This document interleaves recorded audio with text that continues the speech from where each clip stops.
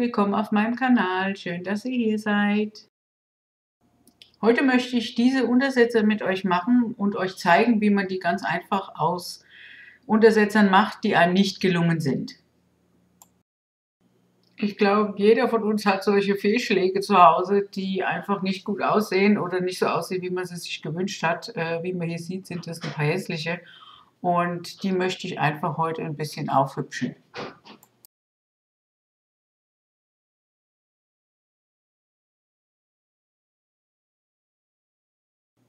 Ich werde die jetzt erstmal äh, anschleifen und beim Schleifen sollte man immer eine Maske anziehen, ähm, weil den Staub vom äh, Epoxid will man halt doch nicht in der Lunge haben. Ich rau jetzt äh, nicht die Ecken an, sondern eher die Oberfläche äh, von dem Rohling, weil ich das äh, jetzt dann gleich mit weißer Acrylfarbe grundieren möchte und damit die Farbe ein bisschen was hat, wo sie da drauf haften bleiben kann, ähm, mache ich das einfach ein bisschen rau mit einer Nagelfeile. Und das ist eine weiche Feile, also da ist irgendwie so Schaumgummi oder sowas drunter. Ähm, da komme ich auch in die Ecken, ähm, die eine starre Feile eben nicht be äh, beschleifen würde. Oh mein Gott, wenn ich den, den, den Coaster so sehe, der ist so hässlich. Ich freue mich schon drauf, wie der aussieht, wenn er fertig ist. Ich mache das jetzt für alle drei Untersetzer und ähm, für den kleinen dann eben auch, also für dieses kleine runde Teil.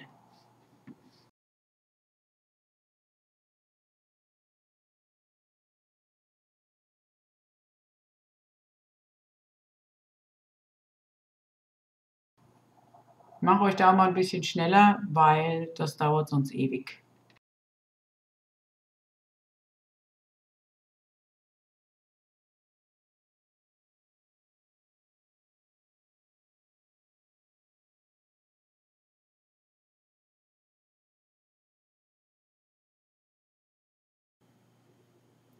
Ich nehme jetzt einen kleinen Becher und mache da weiße Acrylfarbe rein.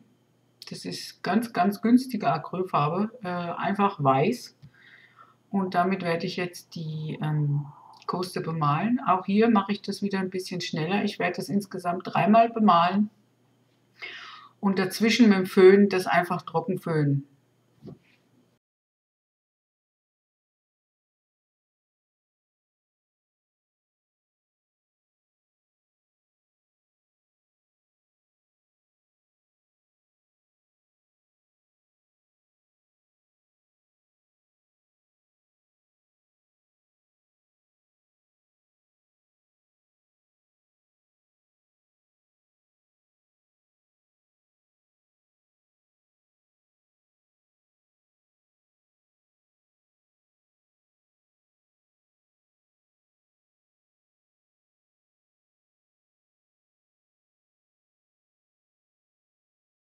Am Ende will ich eben einfach einen ähm, gleichmäßigen oder mehr oder weniger äh, deckenden ähm, Farbauftrag haben.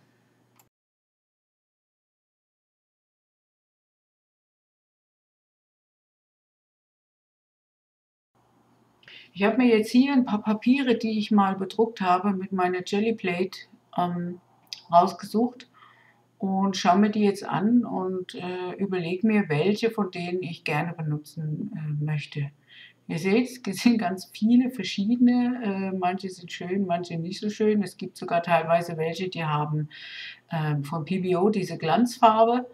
Ähm, manche sind einfach ganz normale Acrylfarbe. Äh, und ja, diese habe ich irgendwann mal gemacht, ähm, im Folge eben eines anderen Hobbys, was ich sonst noch habe. Und da ich alles aufhebe, jo, habe ich die halt noch übrig.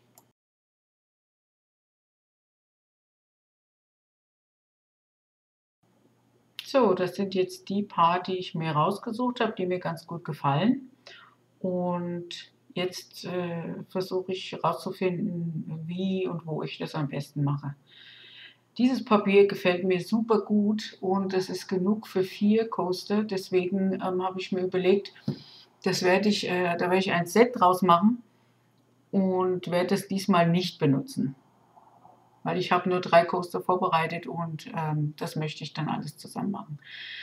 Das da hat mein äh, Auge äh, gecatcht irgendwie, weil ich, äh, weil da eben so eine runde Spirale drauf ist und das werde ich dann letztendlich auch für den Coaster benutzen.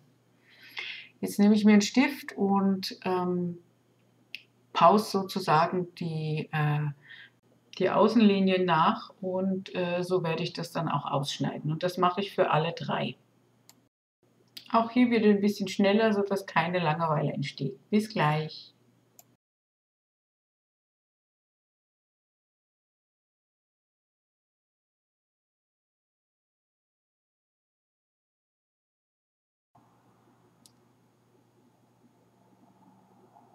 Ich nehme jetzt meinen Glanzlack oder äh, Gloss Varnish. Äh, das ist ein wasserbasierter Lack ähm, und damit werde ich jetzt großzügig die Coaster bestreichen und dann mein Papier da drauf kleben. Und ich mache das deswegen großzügig, weil ich möchte, dass das Papier sicher auf dem Coaster drauf kleben bleibt, damit ich später keine Probleme bekomme, wenn ich ähm, das äh, Epoxid da drauf gieße. Jetzt reibe ich das richtig fest und schaue, äh, dass keine ähm, Luftblasen drunter sind. So, da muss ich nochmal abheben, weil da habe ich gemerkt, dass da gar kein Kleber auf einer Stelle war. Die Ränder gut anstreichen, dass die auch gut halten und jetzt nochmal ein, ein, äh, ein Coat oben drauf, einfach damit das Papier sich da vollsaugt und dann auch äh, richtig auf dem Coaster drauf kleben bleibt. Und auch hier wieder ein bisschen schneller. Das ist überhaupt ein schnelles Video heute, äh, weil das wäre sonst zu lang geworden.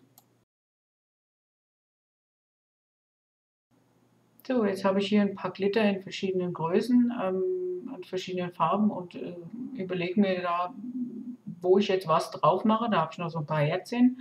Mit dem Grün habe ich dann noch was ein bisschen anderes vor. Ähm, ja, und ich schaue einfach, welche Farben da gut passen würden. So, jetzt nehme ich wieder mein äh, Glas Varnish. Ups, das war ein bisschen viel. Und mische mir da meine goldene Glitter rein und bemal eben meinen äh, Coaster mit dem Papier einfach so. Ich habe die Coaster äh, zwischendrin trocknen lassen. Mal halt meine Linien und was auch immer ich da drauf machen will, da drauf.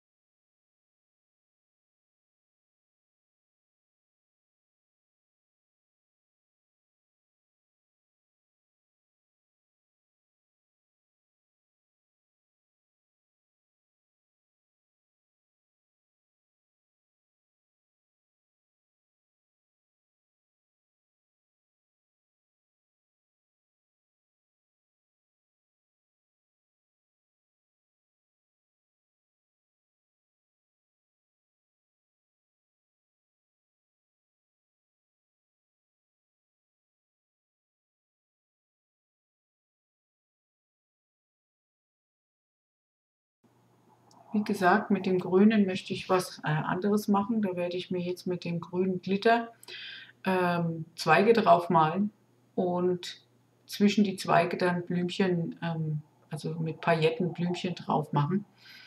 Ähm, ich lasse das, wie, wie, ihr seht, auch wieder ein bisschen schneller laufen und ähm, jo, schaut einfach zu.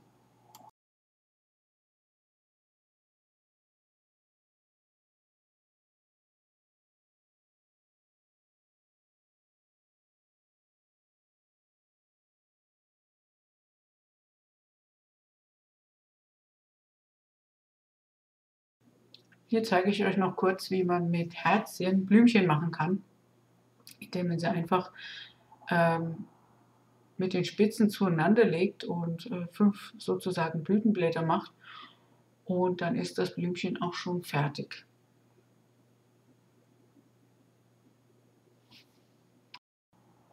Jetzt mache ich noch äh, in dunkelblau kleinen sechseckigen Glitter, also eigentlich eher großen Glitter, in die Mitte von dem Blümchen, ähm, damit es einfach mehr wie eine Blume aussieht.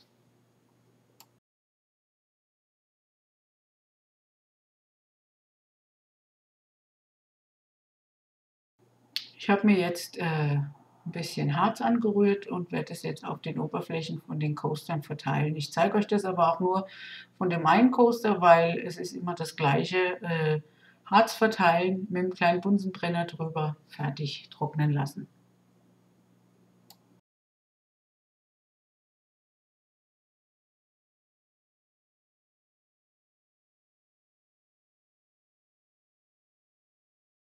So, ich habe noch eine ganze Menge Harz übrig und das verteile ich jetzt auf meinem äh, Topfuntersetzer äh, und lasse das darauf hart werden und das verwende ich dann für meine Mosaikstücke. So, und so sehen die Stücke jetzt aus. Es ist nicht perfekt geworden, weil sie teilweise auch ein bisschen gebogen sind. Und äh, was ich unten drunter mache, weiß ich auch noch nicht. Vielleicht hat jemand von euch eine äh, Idee und lässt einen Kommentar da. Äh, Würde ich mich freuen. Ob ich das dann umsetzen kann, wird man sehen. Jo, das ist der goldene. Finde ich auch ganz toll geworden.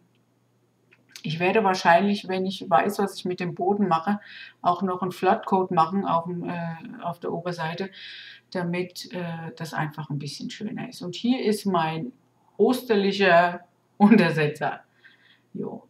Leider ist da die, äh, der Edding, den ich da drauf gemalt habe, verlaufen, aber ja, nothing is perfect.